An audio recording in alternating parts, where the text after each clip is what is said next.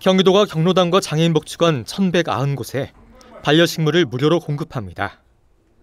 화해소비 활성화 사업의 하나인 반려식물 나눔은 어르신들의 정서적 안정과 생활 속 식물 문화 조성, 농가 소득 증대를 위해 마련됐습니다.